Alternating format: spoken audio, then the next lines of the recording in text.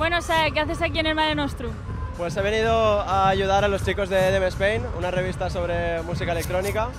Y nada, vamos a cubrir un poco el festival con noticias sobre todos los artistas y, y básicamente eso, retransmitirlo en directo. ¿Y qué te está pareciendo el festival?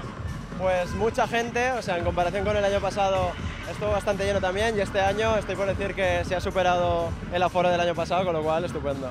¿Y el año que viene vas a volver a venir? Como, como prensa, no ya como festivalero o como DJ.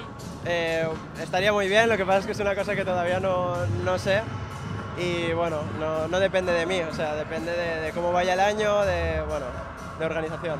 Y has sacado ahora un nuevo tema, One Night, ¿no? Exacto. Eh, salió el viernes pasado eh, bajo la discográfica que llamamos Roberto Sansisto y yo, que se llama Live Life, subsello de blanco y negro. Y eh, salió este viernes y ha entrado en la lista de, de Loca FM. Y nada, se puede escuchar en, en, toda España y lo podéis votar para que vaya subiendo la lista o lo que consideréis. ¿Y qué nos puedes adelantar de tus futuros proyectos?